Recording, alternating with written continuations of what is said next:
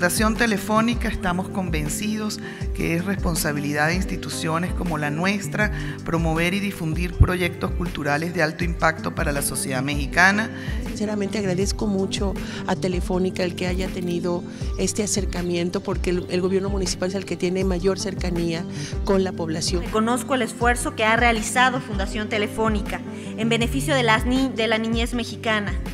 Están sembrando las bases del México que todas y todos queremos.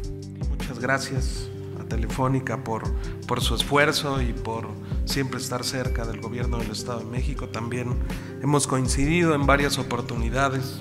La Hora del Recreo es una iniciativa en la que Fundación Telefónica busca concientizar a la sociedad sobre la necesidad de erradicar el trabajo infantil haciendo visible una realidad que afecta a 14 millones de niños, niñas y adolescentes que se ven obligados a trabajar en Latinoamérica, tal como lo muestran las 16 historias de algunos de nuestros beneficiarios y, componen esta exposición. Y que creo que es una excelente herramienta para sensibilizar a toda la sociedad sobre lo que es el trabajo infantil y por qué debemos estar conscientes de combatir prevenirlo. El compromiso de la erradicación del trabajo infantil va incluso más allá de lo estrictamente personal, de lo estrictamente individual y alcanza, por supuesto, el interés general de la nación.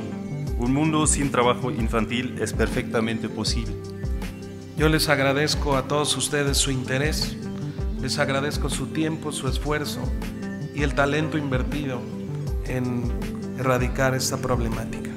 Y muy agradecido con la Fundación Telefónica porque están contribuyendo de manera puntual, exitosísima, como lo pueden ver con, tanta gente que está viniendo a conocer esta exposición itinerante, la hora del recreo.